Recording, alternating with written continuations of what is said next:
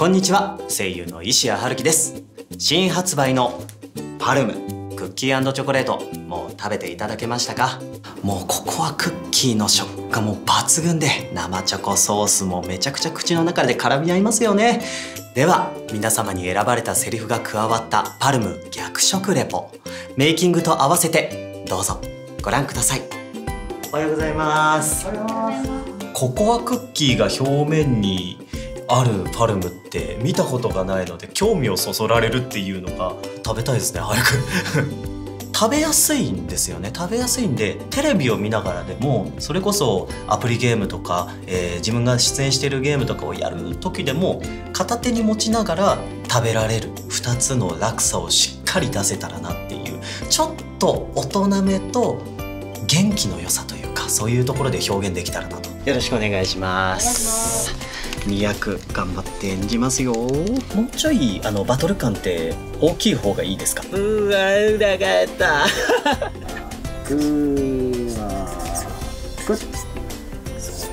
よろしくお願いします。じゃじゃーん。とろけるアイスとクッキーって我ながら最強の組み合わせだと思うんだよな。クッキーだけではない。そう僕は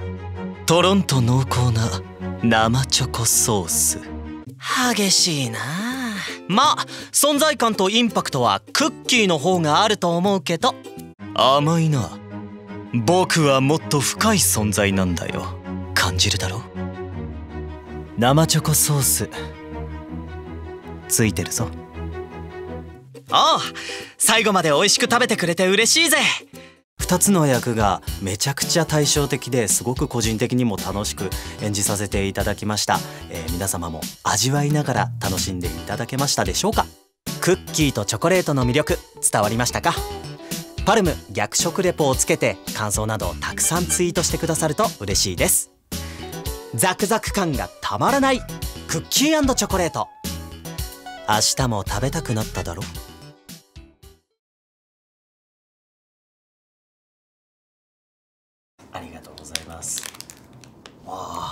まず最初に思ったのが大人っぽいなっていうところなんですけれどもあのー、やっぱりこの色の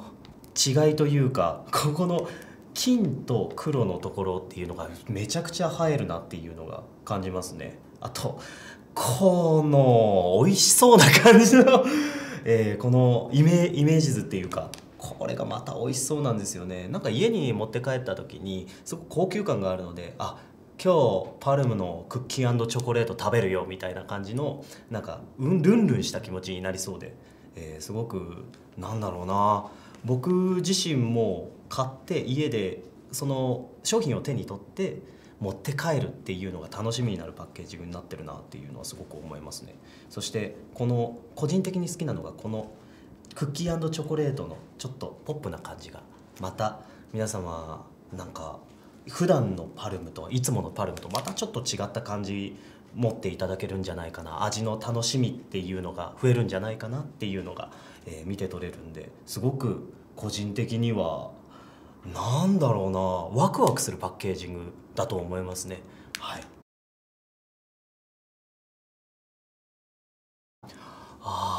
なんかいつもの普段のパルムとちょっと見た目が違う。これ、えー、ココアクッキーなんですよね。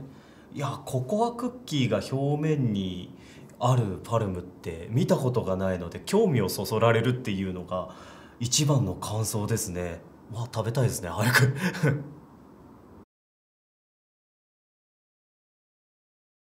僕いつも食べる側なので食べられるっていう役をやるっていうのはなかなかないことなのであの自分としても少し挑戦かなっていう部分もあるんですけども食べられる感じそれをなんか普段パルムを食べてる自分を想像しながらそのパルムの気持ちになってできたらなとは思います。はい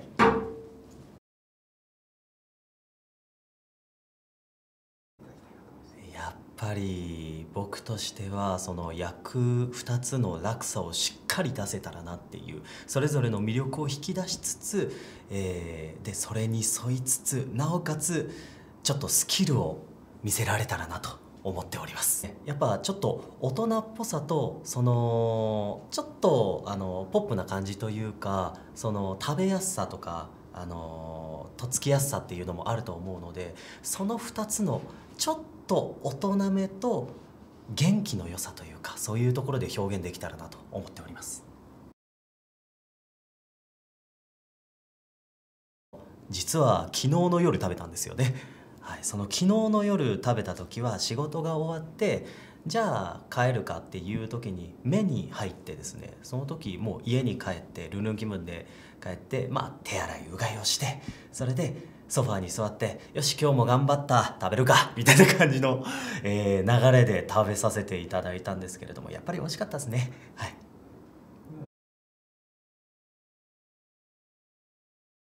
なんか自分の中では自分に「お疲れ様を言いたい時に食べるものっていうのが大きいんですけれどもなんかやっぱり食べやすいんですよね食べやすいんでテレビを見ながらでもそれこそアプリゲームとか、えー、自分が出演しているゲームとかをやる時でも片手に持ちながら食べられるっていうのがすごく大きいんであの